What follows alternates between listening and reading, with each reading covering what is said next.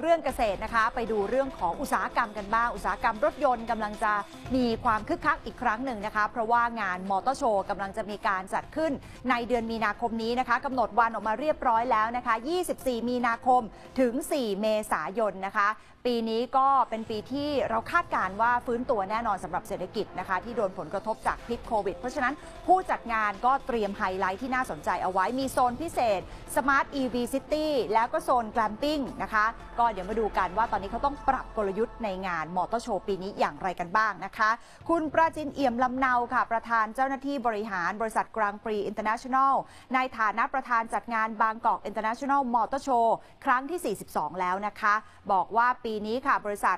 รถยนต์ชั้นนำแล้วก็บริษัทจักรยานยนต์ ตอบรับเข้าร่วมงานเนี่ย 34 บริษัทนะคะ ด้วยพื้นที่จัดแสดง 170,000 960 ตารางเมตร คาดว่าจะมียอดจองรถในงานไม่น้อยกว่า 20,000 คัน เงินสะพัดไม่น้อยกว่า 20,000 ล้านบาทนะคะทำให้ปีนี้จะเป็นอีกครั้งหนึ่งที่งานบางกอก International Motor Show จะมีส่วนสำคัญในการขับเคลื่อนเศรษฐกิจของประเทศไทยค่ะ ปีนี้ความพิเศษไฮไลท์คือเขามีการเพิ่มโซน Smart EV City เพื่อแสดงนวัตกรรมยานยนต์ รถจักรยานยนต์ไฟฟ้า สกูตเตอร์ไฟฟ้า นวัตกรรมสินค้าอุปกรณ์สิ่งประดิษฐ์ทางด้านเทคโนโลยีที่ทันสมัย แล้วก็มีโซน Glamping นะคะเป็นไลฟ์สไตล์สำหรับคนที่ชื่นชอบการท่องเที่ยว สัมผัสชีวิตกับธรรมชาติ แต่ว่ายังต้องการความสะดวกสบาย ขยายกลุ่มผู้เข้าร่วมงานให้มีความหลากหลายมากยิ่งขึ้นนะคะส่วนมาตรการเรื่องเกี่ยวกับการป้องกันโควิด คุณจาตุรนโกมลมิตรค่ะ ประธานเจ้าหน้าที่ปฏิบัติการบริษัทกลางปรีก็บอกว่า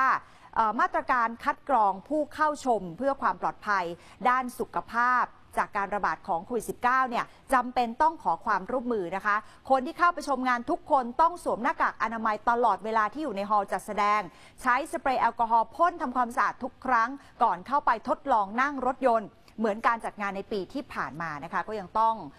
เป็น new normal อยู่นั่นเองนะคะ แล้วก็มีการเพิ่มระยะห่างของแต่ละบูธเพื่อขยายพื้นที่ทางเดินให้กว้างขึ้นจากเดิมด้วย แล้วก็มีการกำหนดมาตรการให้เป็นไปตามการจัดงานแบบ new normal นะคะ ตรงกับมาตรการของกระทรวงสาธารณสุข แล้วก็สบคกำหนดเคร่งครัดค่ะ รวมไปถึงอยู่บนบรรทัดฐานของ Amazing Thailand Safety and Health นะคะ ของการท่องเที่ยวแห่งประเทศไทย จะได้สร้างความเชื่อมั่น แล้วก็ความมั่นใจให้กับผู้ร่วมออกงาน แล้วก็ผู้เข้าชมงานได้มีความรู้สึกปลอดภัยนั่นเองค่ะ